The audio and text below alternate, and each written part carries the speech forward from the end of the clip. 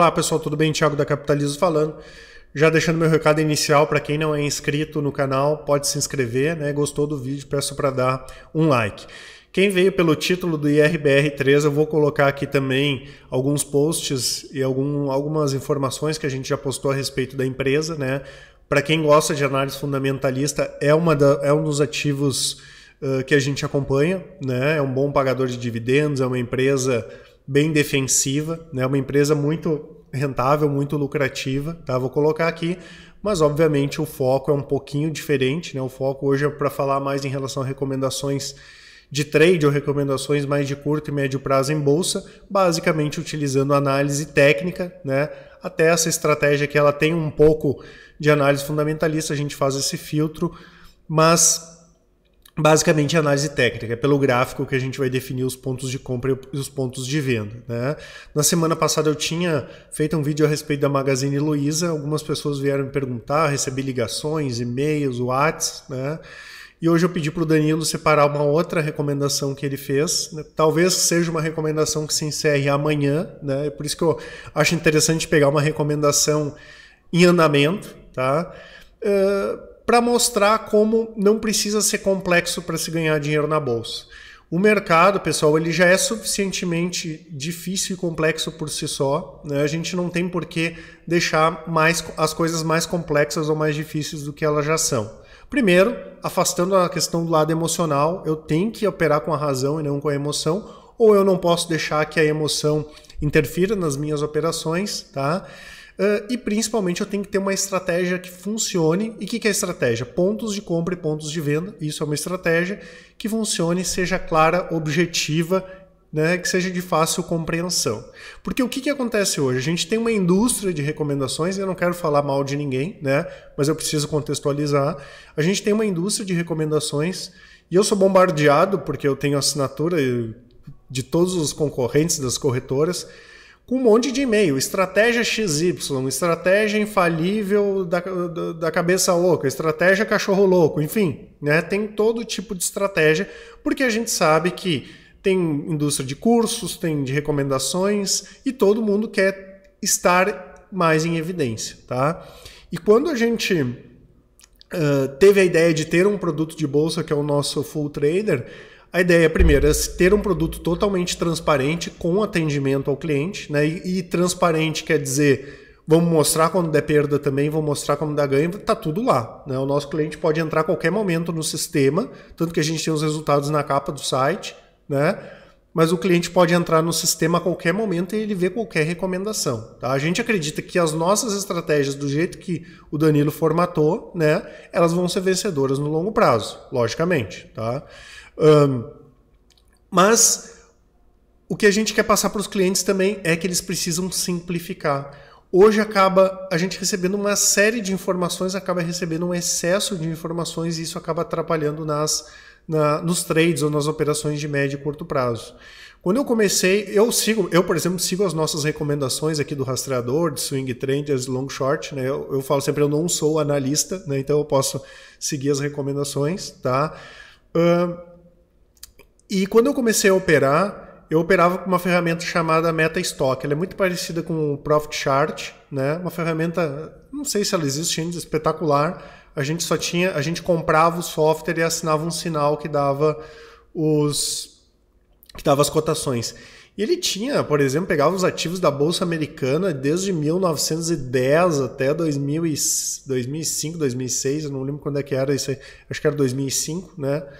E a gente podia testar todos os tipos de, de estratégia. A ah, média com MACD, com IFR, com OBV, com high-low, enfim, eu conseguia ter, testar todos os tipos de estratégia e fazer tipo trade systems. Né? Chegou num ponto que tinha tanta coisa no gráfico, mas tanta coisa que não dava compra nem venda. Eu estava travado, porque eu fazia muita coisa ao mesmo tempo, eu queria fazer muito curso, eu queria fazer muita coisa e eu não não tinha uma estratégia básica de operação. Até que eu falei com um amigo meu, ele disse, cara, desse jeito aí não dá, tu precisa simplificar. E desde lá, é, ali eu comecei a ter uma estratégia mais simples, como o Danilo prega também, e a gente veio com essa ideia, e no produto Full Trader são estratégias simples para cada tipo de mercado. Estratégias para day trade, estratégias para long short, estratégias para opções, estratégia para position trade, rastreador de tendências e assim por diante. Obviamente, né, todas as estratégias têm o seu ponto forte e o seu ponto fraco. Tem estratégias que funcionam bem com o mercado lateral, tem estratégias que não funcionam bem com o mercado lateral. Dependendo do momento do, do índice, a estratégia pode funcionar bem. Dependendo do momento do dólar, pode não funcionar. De repente, a minha estratégia do rastreador de tendências pode não funcionar bem com o setor elétrico daqui um pouco uma operação, uma estratégia de swing trade pode funcionar melhor com o setor elétrico, que é um setor mais lateralizado. Enfim, todas as estratégias têm as qualidades e têm os defeitos. O problema é que às vezes o investidor ele é bombardeado com tanta estratégia diferente que à medida que ele perde em algumas operações, ele muda a estratégia. E aí ele perde naquela estratégia, e ele muda e perde na outra, ele acaba não pegando o lado bom de cada estratégia. Obviamente, as estratégias não são imutáveis, elas sofrem uh, ajustes finos, né?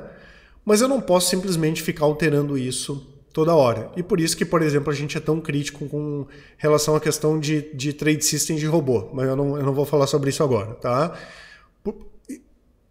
Enfim, tá? A gente então tem essas estratégias mais simples e é uma coisa que nós tentamos passar para os investidores, principalmente para aqueles ainda que, aqueles que não são nossos clientes, porque quem já é tem acesso a gente, né? E sabe que as estratégias são simples mesmo, tá? De simplificar, principalmente para quem está começando a operar no mercado, né? Eu vou deixar aqui embaixo, pessoal, para quem não conhece o nosso programa Trader Capitalismo, Ali explica que tipo de estratégia uh, o Danilo utiliza para fazer as recomendações, explica como é que funciona desde suporte, resistência, o Fibonacci, os setups, né, para quem não conhece, tá? E vou mostrar para vocês esse case aqui da IRBR3, que é um case super simples, tá? Como eu falei, uh, a bolsa já é complexa o suficiente para eu ficar colocando um monte de coisa no gráfico, né? Eu tenho que ter estratégias sólidas. E o principal, pessoal, não é nem a questão da estratégia, mas do acompanhamento e a parte emocional da operação, tá? Eu vou mostrar para vocês, eu vou compartilhar a tela aqui, ó. Essa aqui é a operação que está em andamento de IRBR3, tá? Que é uh, que é Institutos de Resseguros do, Bra do Brasil. Tá?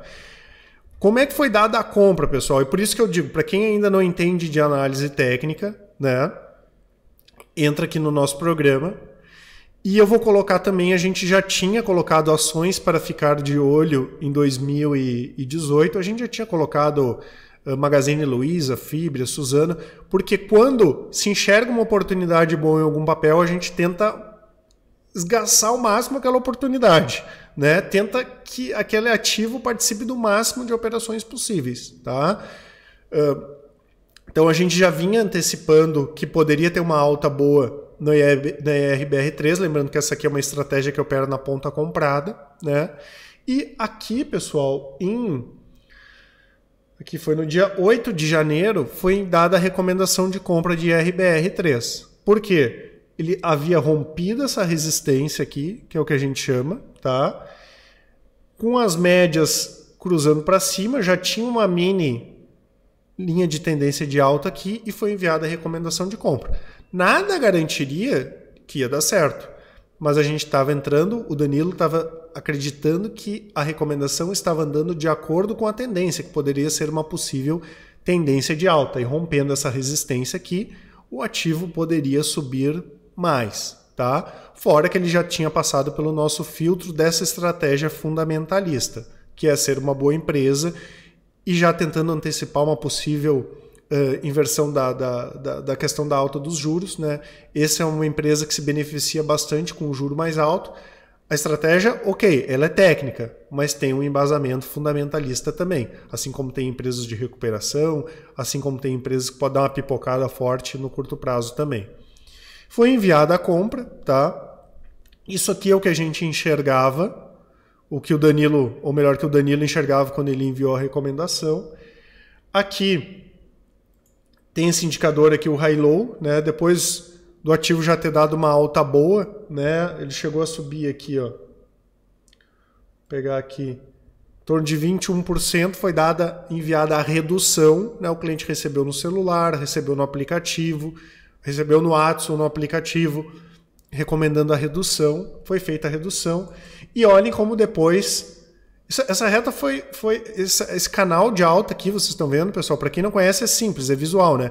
Esse canal de alta aqui ele já tinha sido desenhado a parte inferior dele, né? Aqui, depois só foi ajustado aqui para cima quando bateu duas vezes aqui, né? Mas basicamente essa linha de tendência de alta já havia sido projetada ali em março e o Danilo estava só aguardando de forma paciente, né? Sem essa questão emocional, o desenvolvimento de alta do ativo e as ações vieram subindo, subindo. E o que, é interessante, pessoal, que mesmo com o mercado caindo, as ações ficaram um pouco mais laterais, mas elas não caíram. E por isso que eu falo, eu não preciso complicar a estratégia.